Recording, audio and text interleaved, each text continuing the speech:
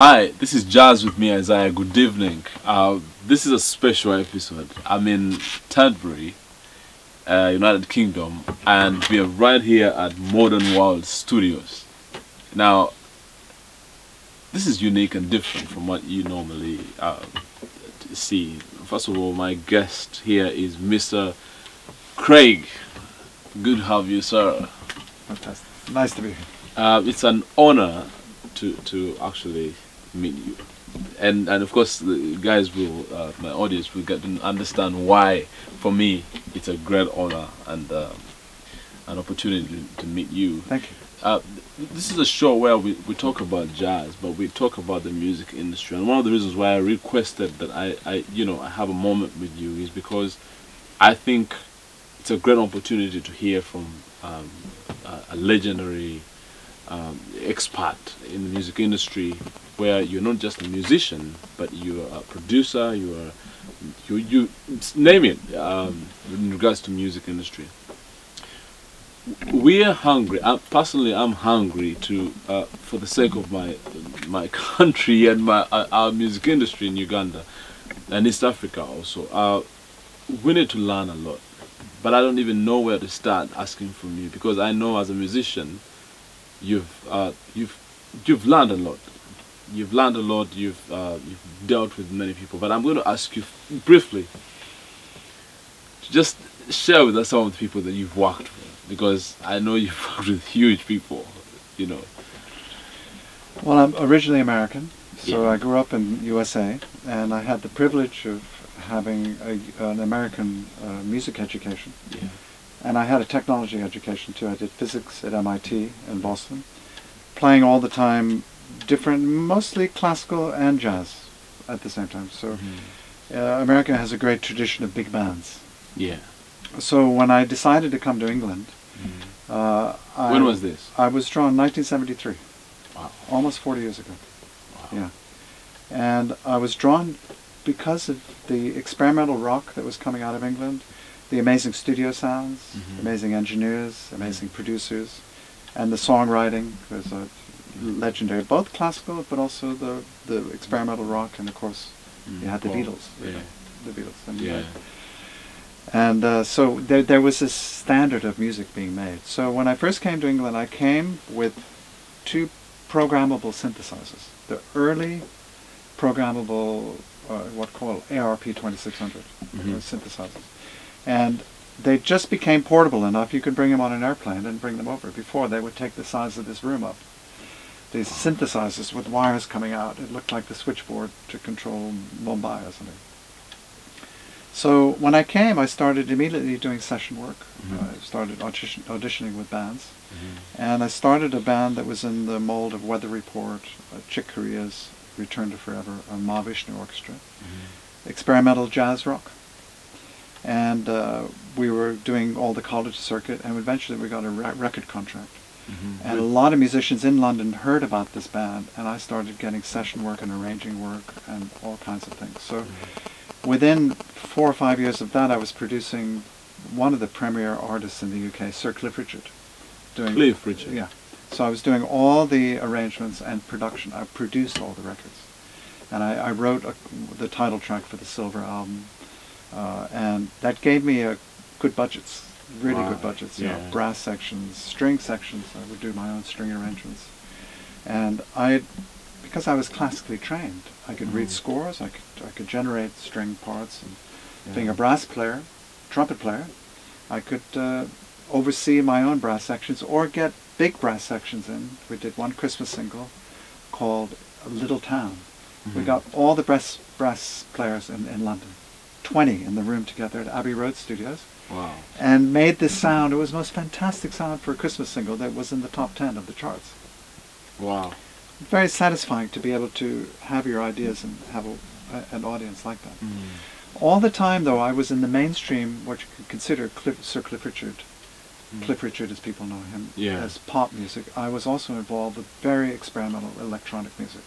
Mhm. And I kept going with my band and all my experimentations. Mhm. I retrained in Indian classical music in 1980 Indian. because I thought it was like one of the most sophisticated and most uh, uh, involved of all the music systems. And I thought, if I don't know this, I can't call myself a complete musician. Wow. So I started, I very seriously started uh, this study and discipline of sitar and study of Indian music. Uh, I didn't know that it would come in by, into my mainstream work until I did a film called Bhaji on the Beach, 1993, which um, involved Western score but using Indian elements. It's for an Indian director Yeah. who did went on to make Bend It Like Beckham, which I also scored. Number one UK film. Bride and Prejudice, another number one UK film, which got to use all my knowledge of Indian music, but how to incorporate it from rock bands, funk bands, reggae bands, Ho- Hold a jazz second. bands. Hold a second. Because I need, I need my, my audience to understand that you you scored um, for Bend It Like Beckham, uh, Bride and Prejudice. Bride and Prejudice, um, Bhaji on the Beach Bhaji on the Beach. What's on the Beach was the first one. was the first one. Not so well known, Yeah. but uh, it started the whole thing off. And it was unexpected. I didn't know I was going to be drawing my Indian music knowledge into Mhm. my work. Wow. And don't forget, before I came to England, I lived in Kenya for two years. Kenya. And I was at the Conservatoire of Music in Nairobi, Kenya for two years. 1971 to 73. I was first trumpet with the symphony orchestra. I had a really good band called Mashada, which is a Santana type band. Yeah. Well, Uh, the, and we- Kenyans in the band. No, it was all white, white British, except for me being a white, a white uh, American. American. Yeah. And we played all the clubs doing British rock with a Santana twist. We did a couple of Santana things. Did you, did you perform in Mombasa as well?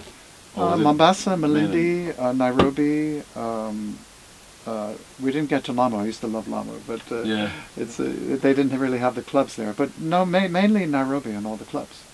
Wow. And we just play all night. You know, it was that time when a good rock band we had our following. They used to follow us all around.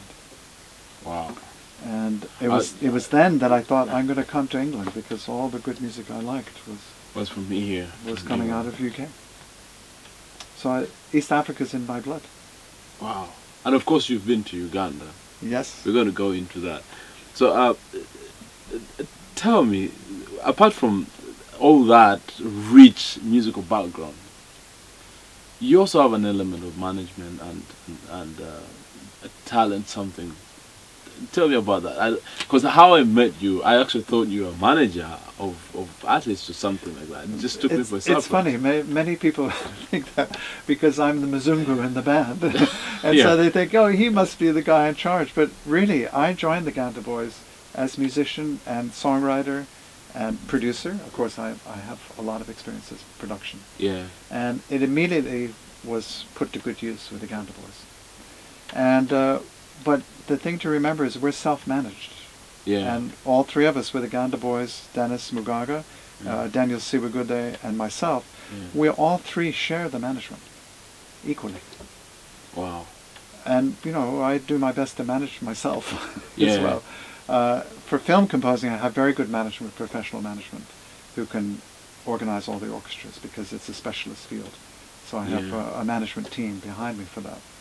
They love the Ganda boys, what we're doing, uh, and uh, hopefully one day I can make, bring all the worlds together, the film world and the Ganda boys and Ugandan music all together.